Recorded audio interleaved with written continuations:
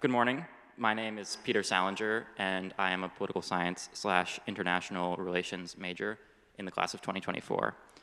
Today's convocation speaker is Carleton alumni Jon Darby, former director of operations at the National Security Agency. I first had the opportunity to meet Jon last spring while doing research with peers on the state of supply chain security for semiconductors coming out of Taiwan. Jon was very generous with his time and expertise, though clearly the depths of his knowledge go far beyond what can be shared with the public. Jon graduated from Carleton in 1983 as a political science slash international relations major with a concentration in Russian studies. He then embarked on a nearly 40 year career at the NSA, culminating in four years as the NSA's Director of Operations, responsible for all signals intelligence and overseeing a budget in the billions. I will now list a few of the many significant intelligence operations that Jon has contributed to. In 1990, Jon worked behind the Iron Curtain on intelligence during the collapse of the Soviet Union, having been stationed in Central Europe during the 1980s. Jon participated in operations during the Balki Balkan and Iraqi wars in the 1990s, embassy evacuations in the 2000s, the Arab Spring, 2016 and 2020 election interference, and recently, the Russian invasion of Ukraine.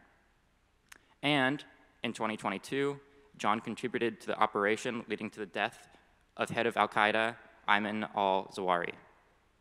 Many of you will recall the now famous picture of President Barack Obama and others in the Situation Room at the White House during the raid that killed Osama bin Laden.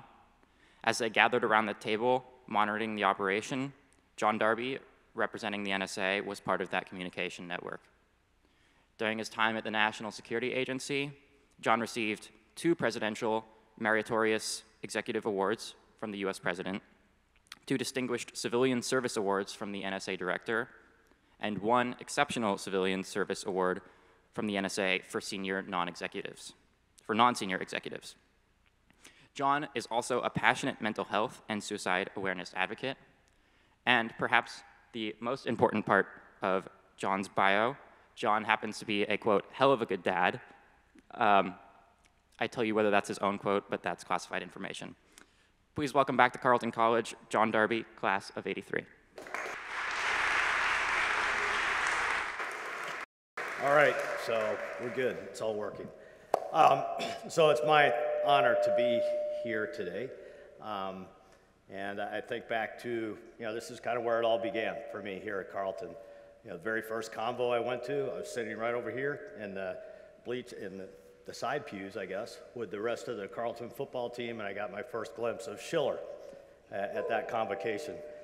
So we charged out after Schiller. I really didn't know what was going on and out in the bald spot. And uh, we dropped Schiller and it broke. So I say, that's it, I'm doomed.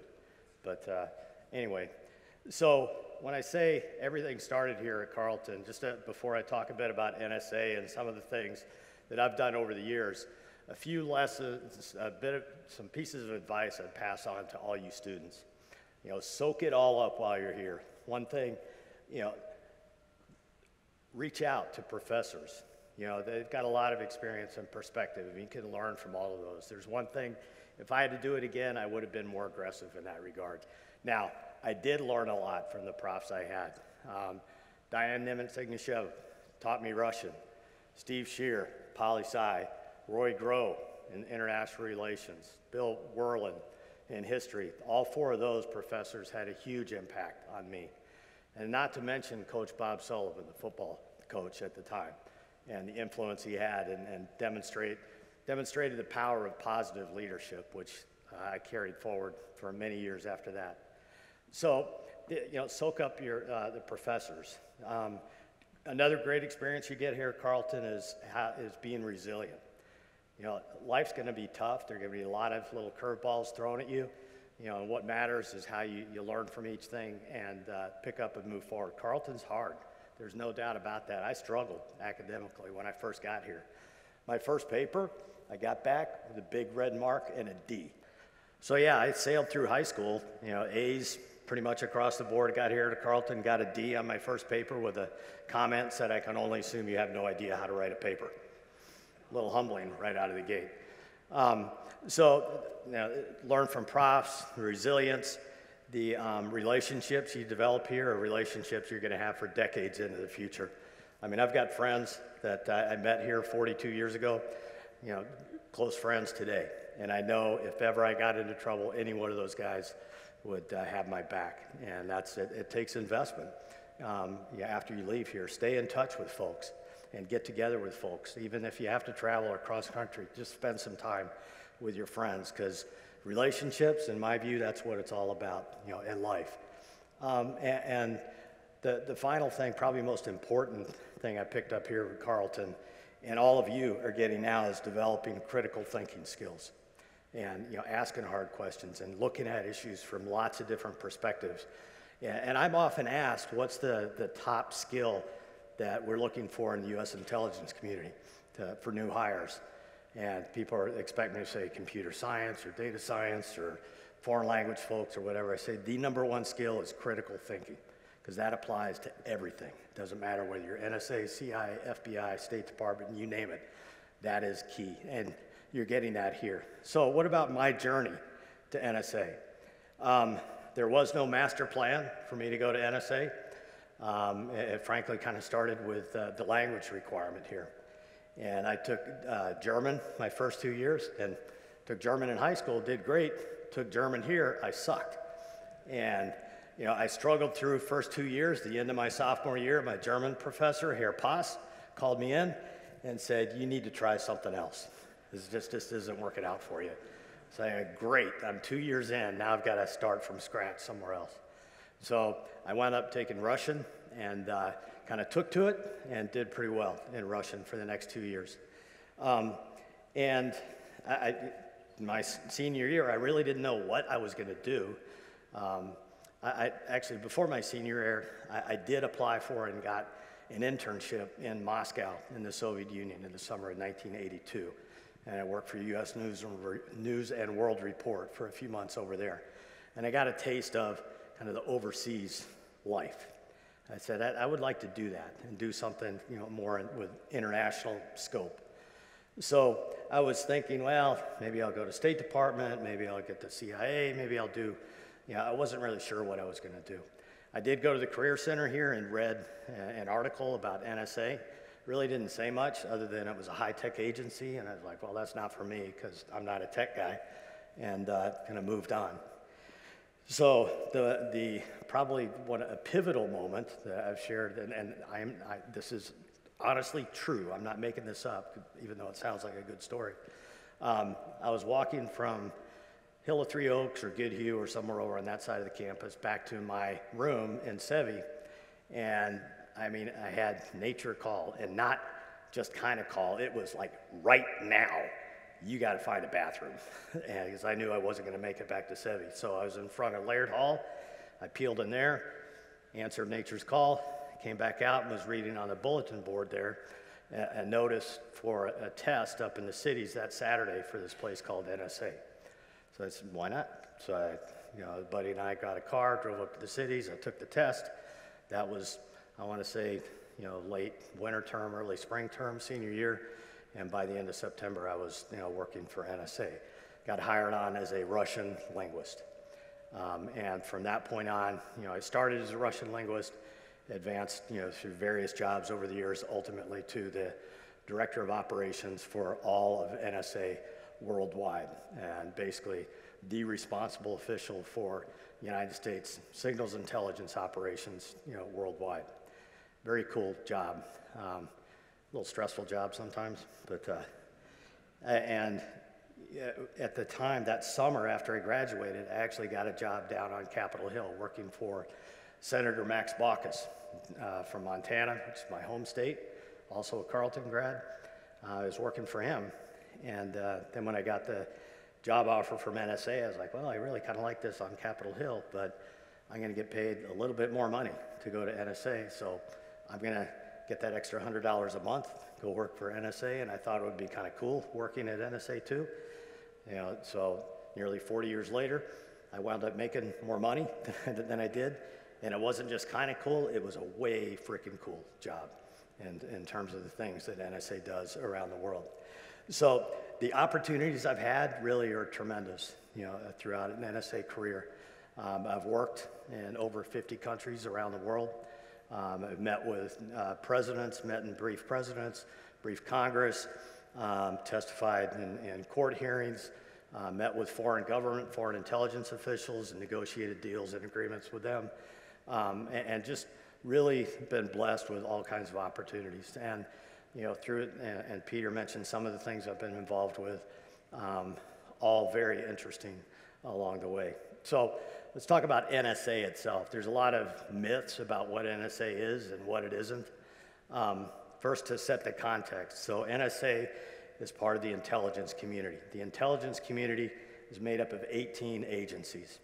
Um, the big ones you know about CIA, NSA, there's National Geospatial Agency, National Reconnaissance uh, Office, who manages satellites.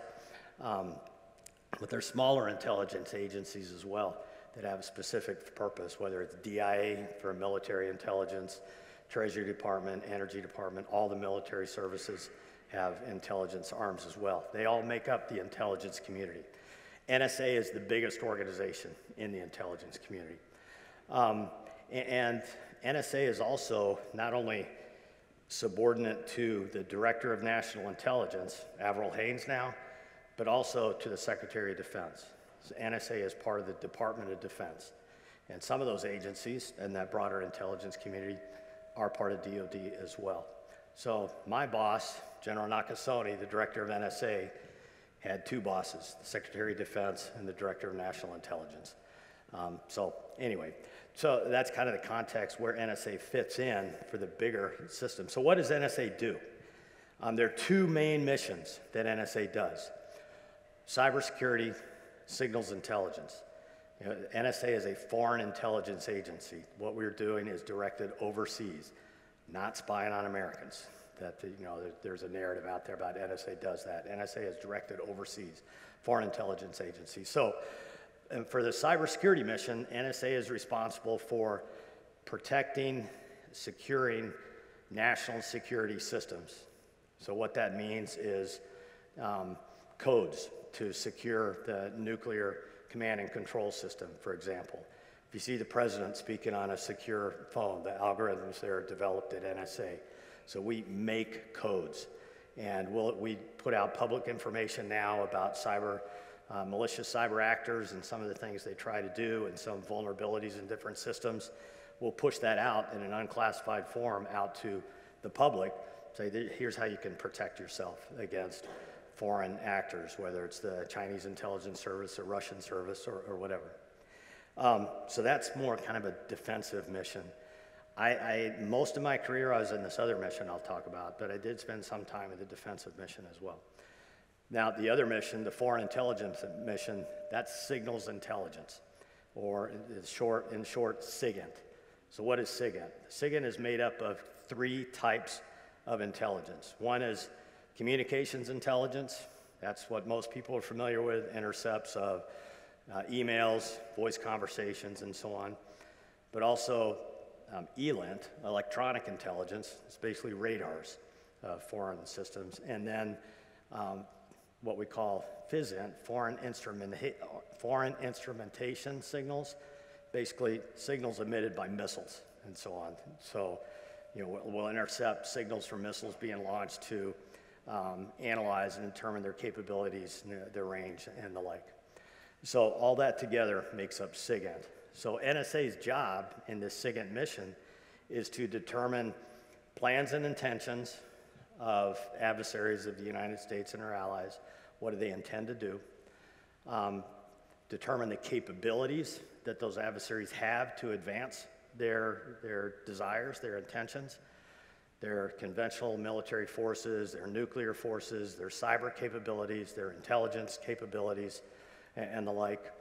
Um, so learn the plans and intentions, the capabilities, and then provide what we call I&W, or indications and warning for how those capabilities intend to be exercised by those adversaries that we have. So, all that together. Um, now, how we do that, let me back up a little bit about describe what intelligence is. Um, There, the, the analogy I like to use, and some of you may have heard me say this before, is intelligence is much like a jigsaw puzzle, but it's a jigsaw puzzle that's unlike any jigsaw puzzle you and I have ever worked. In this particular jigsaw puzzle, you may have a few pieces on the coffee table in front of you. Some are in the carpet, the dog ate some, some are on the other side of town, some are at the bottom of the lake, some are on the other side of the world, some don't exist. Your job is to find as many of those, piece, those puzzle pieces as you can and put them together to tell the story about plans and intentions, capabilities, I&W. And by the way, you don't have a box top to tell you how they all fit together. So incredibly complex and difficult for intelligence writ large. That's the same thing within in the SIGINT world and how SIGINT operates. We've got you know, collection, collection of the signals. There's processing, which involves you know, breaking codes, for example. Um, there's you know, taking signals and putting them in human intelligible form. There's foreign language processing. There's analysis, trying to piece it all together, what it means. And then producing intelligence for military commanders and policymakers so we can give them the best picture of what's going on with a particular situation. So, the, so there's the foreign intelligence, or SIGINT mission, the cybersecurity mission. The bumper sticker we use is NSA breaks codes and makes codes. You know, and some would say, well, that's kind of wacky. Why do you have those two missions seem diametrically opposed? Why would you have that in the same organization? And I would say that makes perfect sense to have them be in the same organization because, again, to use another analogy, if you're trying to secure your house, keep out a burglar, who better to protect your house than somebody that makes a living at breaking into houses? So, NSA, I'll say we're, we're a spy agency you know, an espionage agency. We steal secrets, you know, so we break into networks and we, you know, we know how to do that and, and how to exploit soft spots in networks and things like that. Why don't you take that knowledge, apply that so we can secure our own national security systems so foreign versions of NSA can't steal those same things from the United States. So that's all, that's kind of the two core missions of NSA. There's another mission that, that underpins everything that doesn't get talked about a lot, but it's, it's really important. And this is about the privacy and civil liberties protections. And this is, you know, I, I get it. We know across NSA, it's a big, powerful electronic surveillance, you know, our ecosystem or capability. And, you know, it's up to us to manage that system in such a way to protect the civil liberties and privacy of folks. It is what I like to say, it's baked into the DNA of everybody at NSA on how, how we operate that way. We, you know, take tests. We all have to take tests on an annual basis about um, make sure we understand the rules, what we can and can't do. We've got a culture of self-reporting. If somebody makes a mistake, we'll report it and capture it. And uh, you know, we've got all kinds of oversight mechanism, mechanisms as well, both internal and external. Within NSA itself, our Inspector General, our Office of General Counsel, we have a civil, civil liberties and privacy office within NSA. Um, those are just, and a big compliance office, you know, throughout the entire enterprise. Um, we, um, and external, we've got Congress, we've got the Office of the Director of National Intelligence, we've got um, Department of Justice, um, we've got the um, President's Private Privacy and Civil Liberties Board, all of which we're you know open kimono. We say here's what we're doing, you know, and we get uh, reviewed a lot. I, will read a quote here from you uh, to you. You know, if you recall, gosh, when was it 2013 or so, the um, Edward Snowden situation when a lot got leaked out and a narrative took hold about NSA was doing all these bad things. Um, and the president actually established a review group to really take a hard look, you know, take a look at how NSA operates. One of the members of that review group was a guy by the name of Geoffrey Stone, who's a law professor at University of Chicago. Um, so I'm going to read a quote that he put out after this review. It says, From the outset, I approached my responsibilities as a member of the review group with great skepticism about the NSA.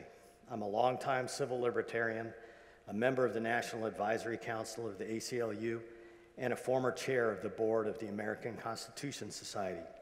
To say I was skeptical about NSA is, in truth, an understatement. I came away from my work on the review group with a view of the NSA that I found quite surprising. Not only did I find that the NSA had helped to thwart numerous terrorist plots against the United States and its allies in the years since 9 11, but I also found that it's an organization that operates with a high degree of integrity and a deep commitment to the rule of law.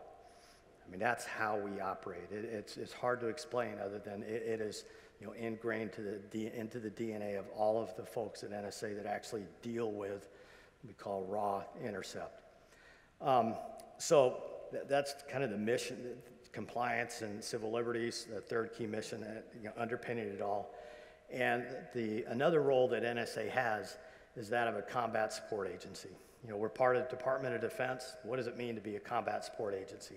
Basically means if we have troops in harm's way, NSA is there as well, either virtually or physically, with the troops to help them do their mission. NSA deployed thousands of people to Iraq and Afghanistan over the last 20 years.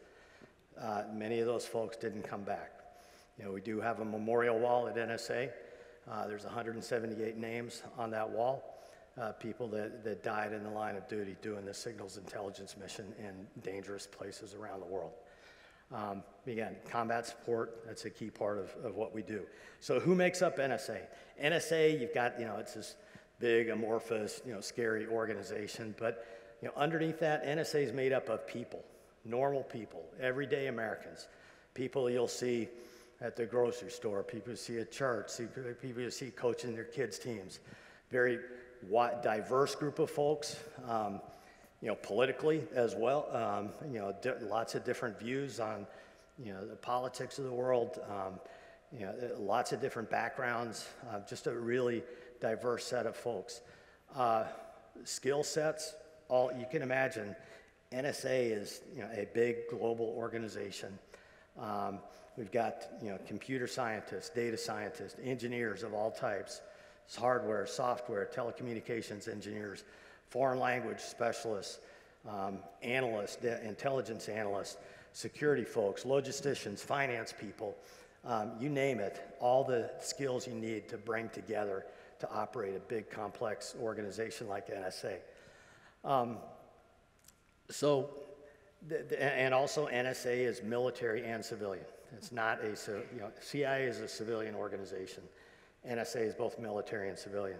So I've worked side by side with military folks from day one when I started working at NSA. Um, and, and, I'd say it's roughly, you know, 60 40 um, civilian to military folks, but all branches of the military are at NSA. Army, Navy, Air Force, Marines, Coast Guard, and now Space Force are all part of NSA as well. Um, when I was the director of operations, one of my deputies was a two star general or admiral um, in the military. So we worked side by side, we're truly integrated. Um, now, there are people from Carleton that work at NSA besides me. Um, and, you know, not a ton, but there are some. And it's really interesting. I, I, did a poll to look at the majors of the people from Carleton that work at NSA. Pretty diverse group. You look at the majors computer science, okay, it makes sense. Foreign language makes sense. History, English, philosophy, um, you know, just you know, international relations, economics, you know, all those you know, pretty broad range of majors here from Carleton, and all those folks made their way to NSA doing various jobs at, at NSA. Uh, math as well. Um, NSA, frankly, uh, last I checked, is the number one employer of PhD mathematicians in the country. It's a great place to work for mathematicians um, in terms of challenge and the, the opportunity to make a difference. Uh, speaking of uh, computer science and skills, and I, I got one. How many computer science people we have in here? Any names? All right. So I thought about, you know, I'd open up with a joke for the computer science folks, a little tech joke to, about UDP, but I didn't know if you guys would get it. Does anybody understand that? Go look up UDP, and you'll see what I, what I mean by that. But I'll explain it. So the computer protocol, there's TCP, UDP, TCPs. You've got to have a handshake between the two computers. UDP is basically you're streaming out. You do this for a lot of the streaming movie services. So you push it out, you're not looking for confirmation that the other end gets what you're sending. It's a joke about UDP. I'll tell it. I'm not sure you'd get it. Okay. It's kind of sad when you have to explain it, but. Um, so where is it? So I talked about what is NSA. who makes up NSA, where is NSA. And NSA's headquarters is at Fort Meade, Maryland, halfway between Baltimore and Washington, D.C. Uh, but we also have numerous offices, not just overseas, but here in the United States. And again, just because we're here in the United States doesn't mean, you know, we are focused overseas in what we do. NSA has offices in Georgia, Texas, Colorado, Utah, Hawaii, Alaska.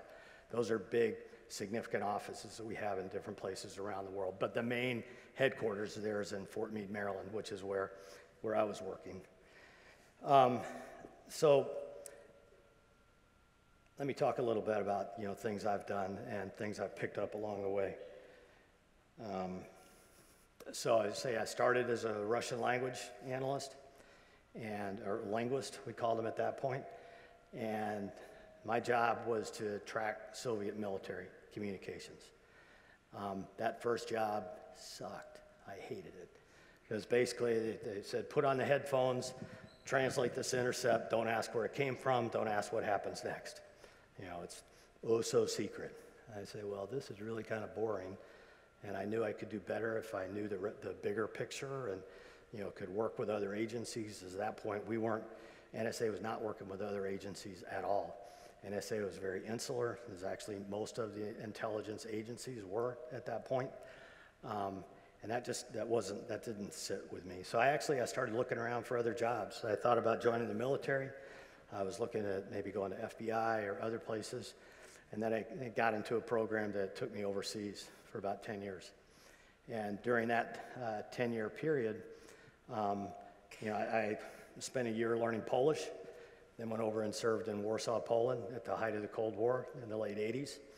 Um, that was, you know, that was like you see out of the movies, you know, living in the, you know, behind the Iron Curtain. Um, then I learned Hungarian for a year and went to Budapest, Hungary, and lived there for a few years after the wall had come down.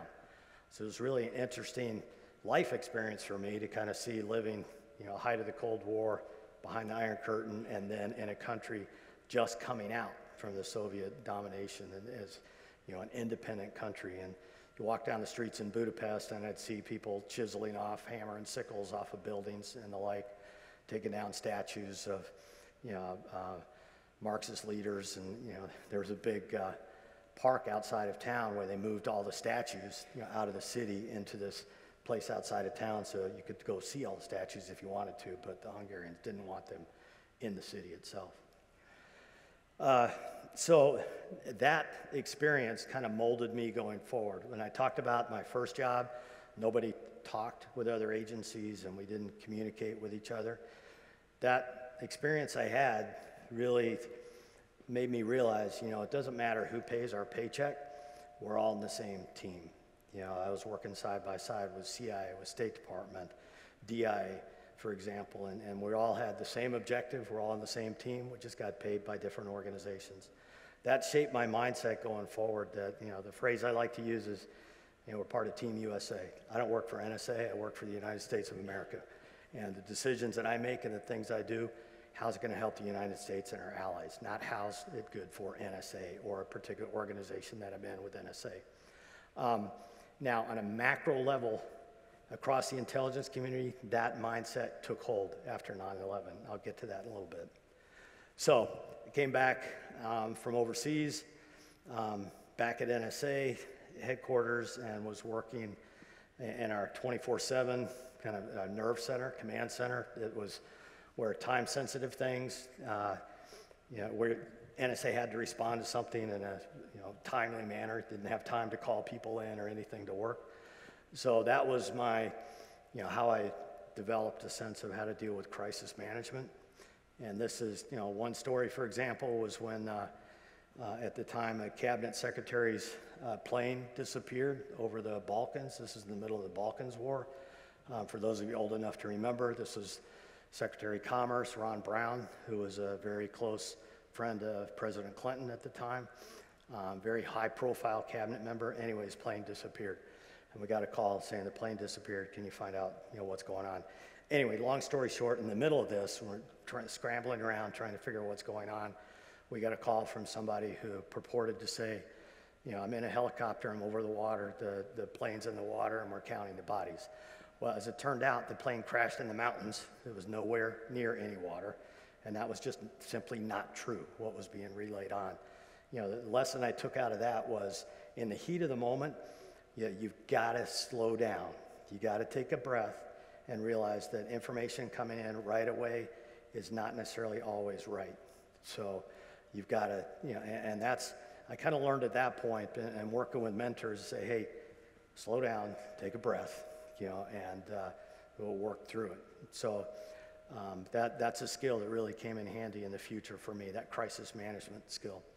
So from then, I went to um, leading an analytic organization focused on Africa. And uh, that's uh, in August of 1998. I got a call in the middle of the night. Said, We need you to come in. There's been a couple of explosions down in Kenya and Tanzania. This is when the U.S. embassies in Kenya and Tanzania got bombed. And that was my introduction to Al Qaeda at that point. I'd heard of Al Qaeda, but had never really been directly involved in gathering intelligence about Al Qaeda uh, until those embassy bombings. um, and spent a, a, good chunk of my career in counterterrorism from you know 9/11 on. But anyway, had my introduction. Um, 9/11. Anybody that was you know around and has you know conscious memories of it will you know, remember where you were on 9/11. Um, my 9/11 story is I slept through the whole thing, and that's because I was in Australia on a business trip at the time, and I figure I fell asleep right about the time the first plane hit the first tower. And when I woke up in the morning, I was actually going to travel to another part of Australia that morning, but actually gone, turned on the news. I thought there was a movie being made. I, was, it, I didn't really, it just took a while to compute what the heck had happened. Went to the airport, was ready to fly to the next location, and got pulled back. All government employees were grounded. You know, for, uh, you know, we were basically frozen because nobody really knew what was going to happen next. So I got stuck in Australia for about uh, eight, you know, seven to 10 days. I don't remember precisely how long. Um, and I was just doing whatever I could to help the Australian version of NSA, which is where I was, who I was meeting with. How could they help, you know, NSA? And then, you know, we're trying, everybody figured there was another shoe that was going to drop. You know, it wasn't just the planes, that something else was going to happen and what we didn't know. So I came back to NSA um, walked into my office and was told by my boss, who I shared an office with at that time, said, you, said, you have a new job as of right now. You need to report to this other floor in the building. You're now part of the counterterrorism organization.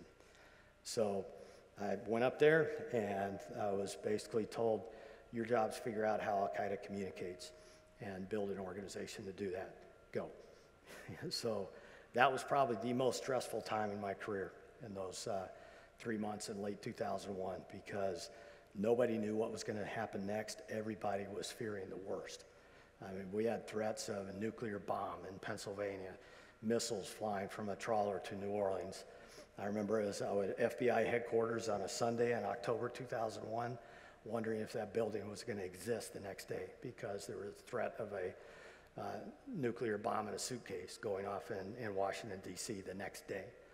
Um, so all that, you know, the, all these things seem kind of crazy I'm talking about now, but at the time, it seemed crazy for planes to fly into towers. So we didn't know what was going to happen next. So anyway, pretty intense time. And, and I remember at that point, you know, so, somebody asked me actually, I don't know if it was yesterday, saying what, you know, what are the things that kind of helped you in your career moving forward? At least for me, it was being thrust into the counterterrorism organization. It was an opportunity that was before me, and it was kind of a sink or swim moment for me. It was, this was no kidding, high stakes. You gotta do the job. You know, and if you don't, we'll find somebody else in there. So I took it, I basically said, I've been working for how many years to be ready for this moment, to jump into the, jump into the stuff. Um, so that everybody, I think, in their career, you know, has one, if not more, things. You know, things will kind of circumstances will present an opportunity for you, and you can either grab onto it and know that it might not work out. It can be kind of scary, but uh, many folks will grab onto that, and you'll surprise yourself that uh, you can do it. So, counterterrorism uh, went into that after 9/11, and spent, you know, about the next 10 years doing counterterrorism stuff. and involved in all kinds of counterterrorism operations uh, worldwide. Um, the uh, everything from the you know uh, uh, hotel attack in, in Mumbai by the Lashkar-e-Taiba that uh, in uh, what was it 2007 I think or eight right in there to the um, underwear bomber. This is the guy that tried to bring down the plane over Detroit on Christmas Day of 2009. Um, again, the combat support role, I deployed numerous times over to Afghanistan and Iraq to help uh, protect uh, the, our forces that were you know, in combat there uh, on the ground. Uh, and probably, you know, my final pure counterterrorism job was in 2011. And at that point, I was, you know, I thought what I would say is a career highlight for me. I was the NSA lead for the Osama bin Laden operation, the, the hunt for him and the actual operation that took him down in uh, May of 2011. So um, that was, and for those of you interested, there's a Politico article that was uh, written uh, about that operation uh, on the 10 year anniversary, and that was the first public what a notification or, or public acknowledgement by NSA that we were part of this operation. So that article is actually pretty good, and I'm saying it not just because I'm quoted in the article, but it really kind of gives a personal sense, you know, from lots of people, CIA, JSOC, different agencies, you know, key players in this, what they were thinking as this proceeded through the hunt itself to find him. Is he really in that compound in Abbottabad or not? And then through the actual raid planning itself, and as the raid was carried out. Um, and actually, the quote I told the interviewer wound up being the, uh, the title of the article, but it's really true. It was by far the most secret operation I've ever been part of, um, and incredibly secret. Um, so much so that even for folks that we had a lot of people across NSA supporting the raid as it was taking place, they didn't know it was about bin Laden. All they knew was a the cover story was it was a military operation in Pakistan. Um, but anyway, um, that was, uh, and it, you know, I talked about the first job where um, everything was really, you know, we didn't talk with other agencies. 9/11 um, happened, and we shifted to a mode of we needed to share across agencies, and we, we gradually, well, rapidly developed to a point we have people from different agencies working in other agencies all the time. We've got hundreds of NSAers working at CIA. We've got CIers working at NSA. We've got NSAers at NGA, um, NRO, you know, military commands, combatant commands, and so on. We you know, are in integrated all over the place, and we share information fluidly. My last job here as a director of operations, I talked all the time with my counterpart from CIA, from FBI, from other agencies. We really operated as a community that really um, came, you know, was brought to the attention of a lot of folks with the bin Laden operation. That I would I talk about this operation and say, look, if you put the core analytic team that had worked this hunt for a decade, put them down in a row, you'd be hard pressed to say, is that person NSA or CIA or NGA? Because it, it really didn't matter. They were all working together with, and with the capabilities that their agencies had to really run this down you know, invested, put together this jigsaw puzzle. That it may be a, a SIGINT piece, then it may, you may need a human intelligence piece, or you may need uh, an image or something, but it's all the pieces, how you pull that together. And I was part of the briefing team that went down on Capitol Hill in the days after the operation to brief it to Congress and say how it all played out. And one congressman at one point said, well, if anybody tells me the military and CIA can't work together, our intelligence community can't work together, I'll just point to this operation. And they said, yeah, yeah, and they were all um, clapping and applauding. And, you know, it was nice to hear, but in the same, uh, at the same time, those of us at the, you know, table were like, you know, we're talking to each other, say, we do this all the time, you know, really operate as an integrated team. This particular operation was one that got more visibility, and there was a recognition that we do operate as a, as a team. Um, and that team mindset, I talk about, you know, there are people that come to NSA, get hired on NSA, go work down at CIA for a while and realize, you know, I like CIA better. I think I want to work there. And I say, hey, great, you know, we're all on the same team. I don't care if you're smart and you can, that's a better fit for you, too, cool. And there are CIA folks, for example, that worked at NSA, say, hey, I, I like this NSA job better than what I was doing at CIA. Cool, become an NSAer. Uh, so uh, the counterterrorism thing wrapped. uh, I, my counterterrorism career, I, I left after uh, in, in 2011.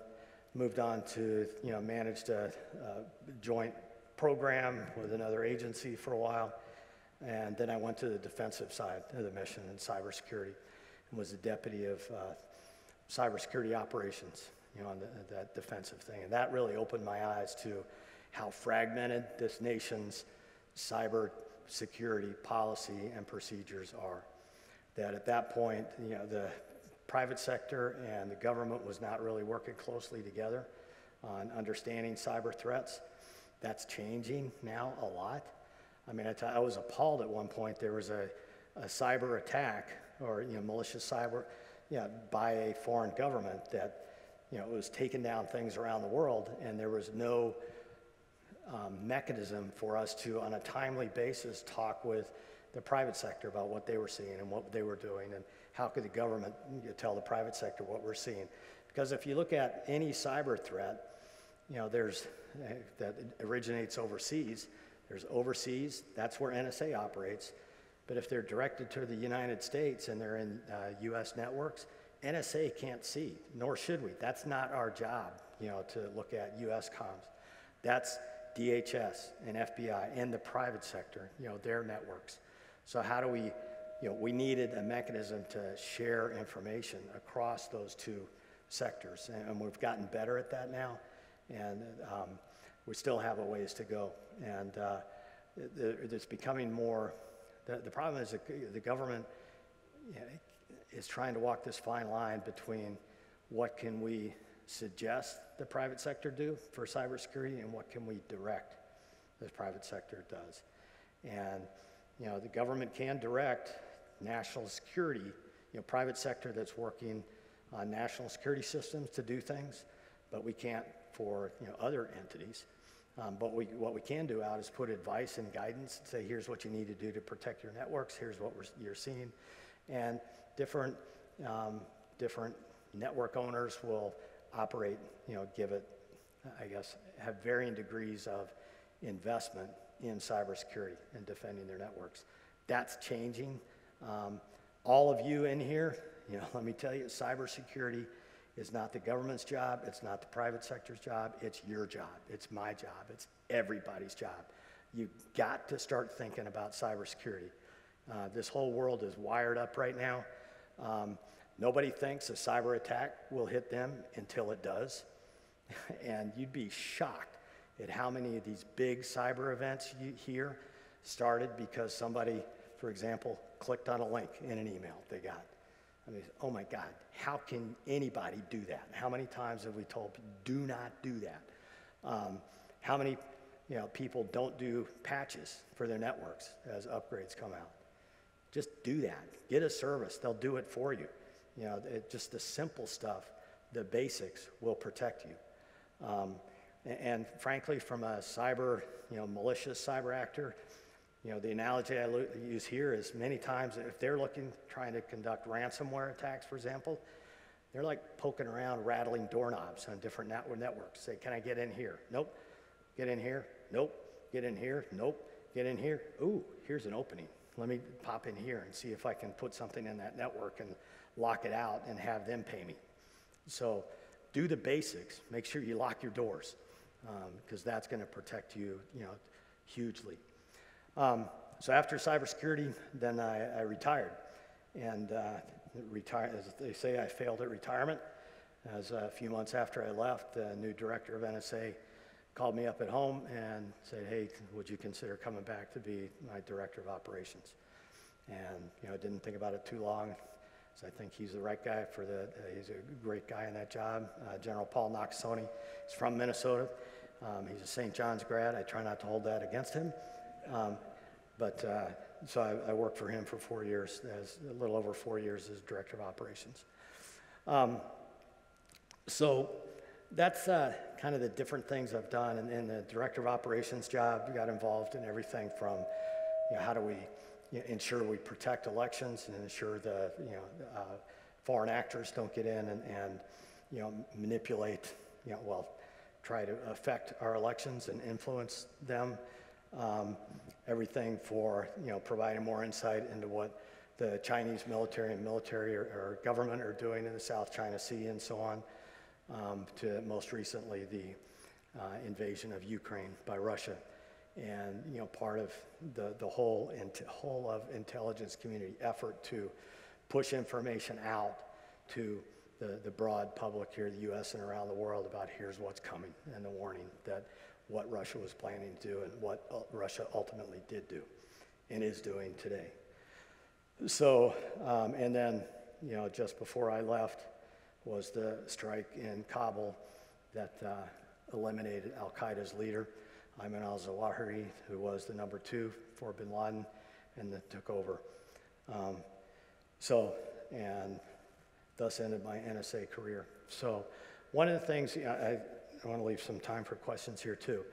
Um, so I got asked a lot when I was in the director of operations job. As you can imagine, pretty big job, broad scope of things. China, Russia, Iran, North Korea, terrorists, drug runners, transnational organized crime, cyber, you know, spies, you know, all that kind of stuff was in that, you know, portfolio. The people ask me, so what's the top priority? And people expect me to say things like, well, it's China, or it's catching spies, or it's stopping terrorist attacks. And I would say the number one priority, and it's not even close, is people. You know, that people underpin everything. And, you know, one thing I'll ask all of you, no matter what you do as you leave Carleton and go beyond, give a priority to people. Give the priority to people. People underpin everything. My job as a director of operations, and I, I, what I ask all of you to take on, is create an environment within the scope of your influence so that every individual feels valued as an individual. You know, it's all, I mean, all of us as individuals have so much to bring to a particular problem. And it's that stuff that makes us not feel valued or that we don't matter that drags us down. You know, we can't unleash everything that's in us to get after a problem if you've got all the crap dragging you down. So how, how can you address that crap? You, know, you can, as a, within the scope of your control, you can empower people, you can train people, you can develop people, you can talk with people, you can create opportunities for people, you can listen to people. You know, the listening is really important too. Um, and, you know, Peter talked a little bit about, you know, a passionate mental health advocate. Um, that, you know, unfortunately, I've lost two of my, both of my brothers to suicide. My wife's lost a couple of siblings to suicide. Um, and I, I talked to a lot of groups about, you know, mental health and, um, and listening matters so much. You know, all of us, life is hard, and a lot of stuff hits us from lots of different directions. Different people react to the same situation differently. A lot of people, they just want to know that they matter, and somebody will listen to them. And I'm just, not just making this up. I have talked to people who have said, I would have killed myself if somebody hadn't asked me, How am I doing? and opened it up, and I could talk about what's going on.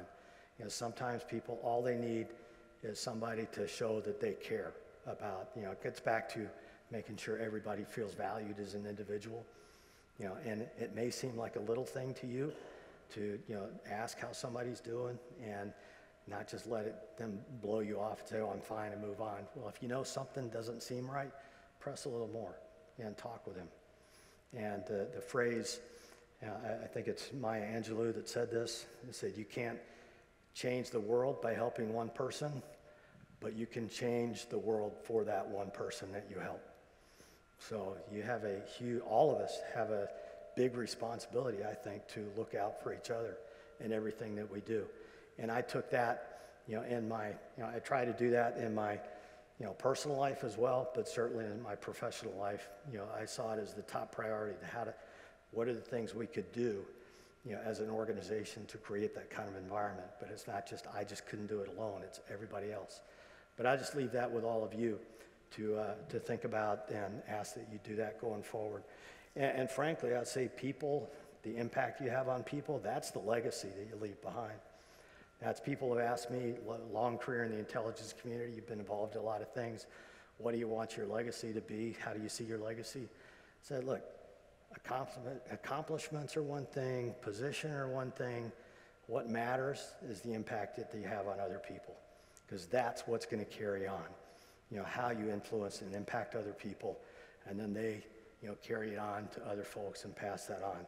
That is the most important thing, in my view, for all of us to do. Um, you know, one example, you look at, uh, some, many of you know this, a couple of weeks ago, um, the football field was dedicated uh, to Coach Bob Sullivan, who was, you know, my coach when I was here. Um, he coached about 600 players over his 20 years coaching. Nearly 200 of them came for this dedication, many of whom had never been back to Carleton until this event. You know, the impact that he had on all those people came from all over the country, including from overseas, to attend this event and just thank Coach Sully for his impact that he, the legacy that he had on the folks that, that played for him. And that's a pretty powerful statement there. So just to, to wrap up, I'll say, you know, I, I understand NSA is not a conventional choice for a career choice for Carleton's, for Carl's. Um, it's an option. The intelligence community is there. Um, why have I worked in the intelligence community for so long? It really comes down to three things.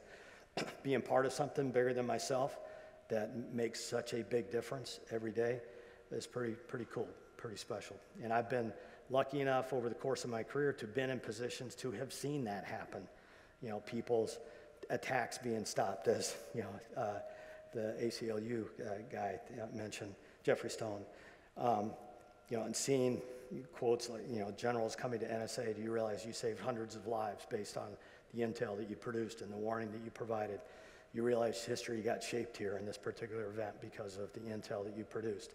Um, it, it's, um, it's pretty amazing.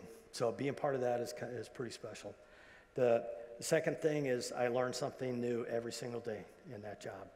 And you say, how could you possibly do that? You did that job for so long. It's because the world in which the SIGINT system and cybersecurity mission operates is the, is the global telecommunications ecosystem, which some would argue is the most complicated ecosystem ever devised by mankind. That's the world in which we operated. We had to know old technology, current technology, new and emerging technologies. Combine that with geopolitical events taking place. All that together, it's incredibly complex. Legal issues. I mean, I, I joked I was thinking about going to law school at one point. I might as well have gone to law school for all the lawyers that I met with you know, to work through, you know, uh, you know, Fourth Amendment issues with, you know, surveillance and so on. Um, so that's why I stayed for so long. Um, and the, the final point is, you know, one class of new hires asked me at one point, say, hey, if you had three pieces of advice, what would they be, you know, for us as new hires here? And I hadn't thought about that, but it came to me pretty quickly. And I think this applies not just at NSA, but no matter what you may do going forward. One is be proud of what you're part of. You know, life's too short. Be proud of what you do. You know, how are you making a difference? And uh, if, you know, find a place that you're proud of what you do. Um, second thing is be curious and ask questions. And don't sit on your laurels and say that's just because the way things are has always been, you know, quest, ask questions, take things the next step. How can you make things better? Be proactive and just don't let things happen to you. Go make things happen. And the third thing is, and the most important, be you. Don't try to be anybody else. You know, don't try to dress like somebody else, talk like somebody else, be like somebody else. Be you. It comes back to that, you know, unleash you. I want the best of you to go out and you know deal with the problems that the, the you, that the world faces across the board. Um, so I think that applies across the board. So I'll stop right there, and I think we got some time for Q and A. Thank you very much, Jon.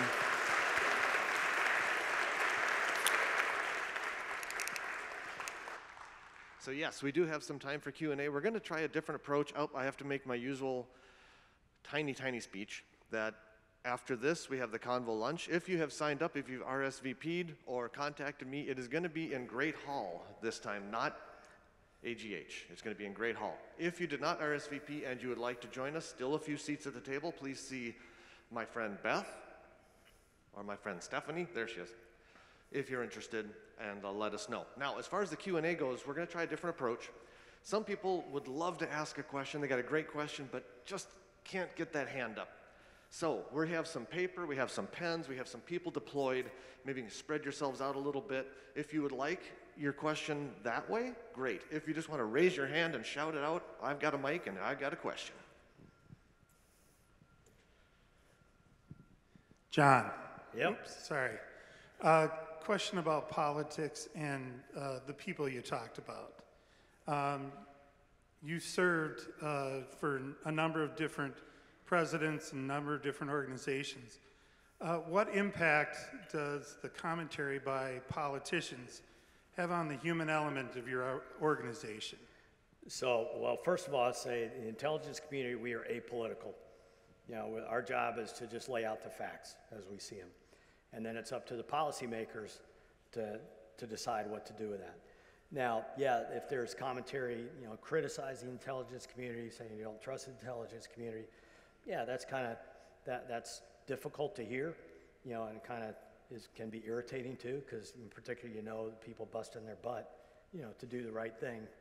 Um, but, you know, we're all grown-ups, and we know that, yeah, um, and we're just kind of, okay, we'll, we'll take it on, and we'll just keep producing the, the facts. And what, you know, one thing, actually, I I meant to mention this in my remarks, you talk about politics and um, politicians and, and, you know, policymakers, they're people too.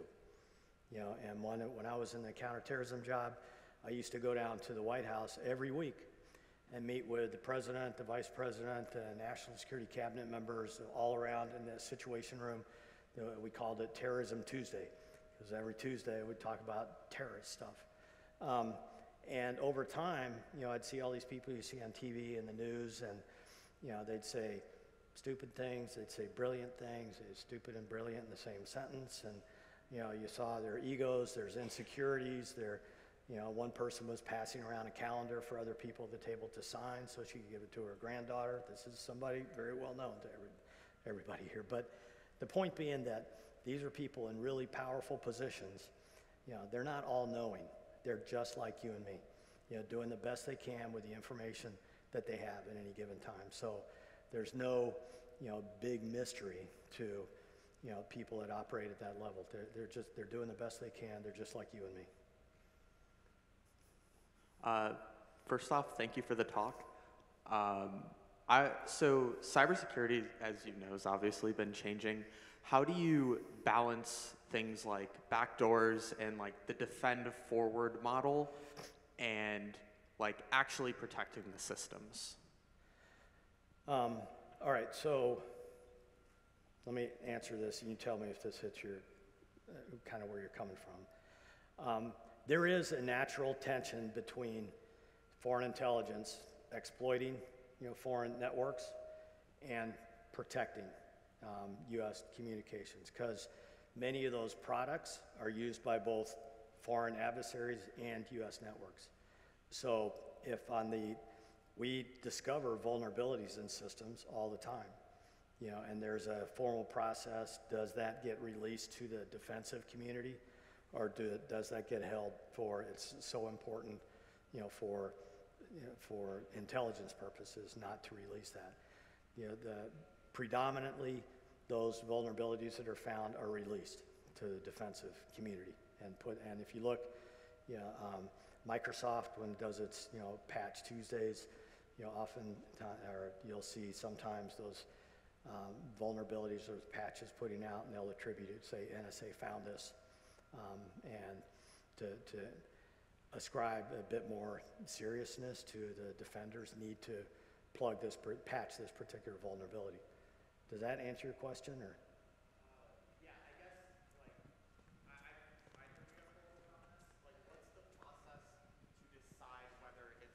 Yeah. What's the process to decide whether it's more beneficial to give to the defense community as opposed to using it for offensive Yeah, vulnerabilities? so that, it- that's called the vulnerability exploitation process, or the VEP. You know, it's run out of the White House. It was actually put in place at that level by Rob Joyce when he was the national, you know, when he was the cyber, senior cyber advisor down at the White House. He's actually uh, the, in charge of cybersecurity now for NSA. But it is an interagency, you know, evaluation and process to make that decision. It isn't just NSA deciding one way or the other. It looks like we have a couple of the hand-in sheets, if you could hand them to Jon. And then we do have, before we do that, Jon, if it's okay, we have a question. Oh, did I lose him? No, Oh, there, okay, there you go. Hi, thanks for the talk. I was curious if you work with state and local governments um, as opposed to just federal and international, because recently there's been a lot of ransomware attacks that are actually being faced by state and even local governments. And I view this as a huge problem. And then there's kind of a philosophical problem with all these outdated systems at local levels. They can be running on like very old, very vulnerable systems. How do you manage spending money to upgrade and also your other, you know, responsibilities to your community and how you, you know, allocate funds? Yeah, that's a great question. So, you know, NSA, you know, again, we, we don't deal with state and local authorities. You know, we're, we're kind of overseas oriented and national security, you know, systems oriented. What we do work very closely with FBI and DHS. So things we find, you know, we'll pass on to them, which then, you know, could make their way to state and local authorities. That's really a DHS thing to manage, but it gets to kind of the fragmented nature of the U.S.'s um, cyber policy at this point. We need to find, you know, better and effective ways to knit together the whole of society for, from a cybersecurity standpoint. Does that answer your question? Okay. So the, the written question, so NSA tries to uphold the civil liberties of U.S. citizens. What steps does the NSA take to respect the privacy of private foreign nationals? Good question. Um, I will say, you you know, NSA is a foreign intelligence agency. Any foreign individual that we're targeting is a foreign intelligence, we're targeting for foreign intelligence purposes. It's not, we're not targeting them for any other reason. Now, there are some procedures in place. You know, we just actually negotiated an agreement with, uh, I think, the European Union on some of the procedures for if European nationals, you know, believe their privacy rights are being violated, you know, what's the procedure and how to appeal that and work that through the United States. So, um, and, and it, but, you know, there's no denying that the majority of our procedures and processes in place as a U.S. intelligence organization are about protecting U.S.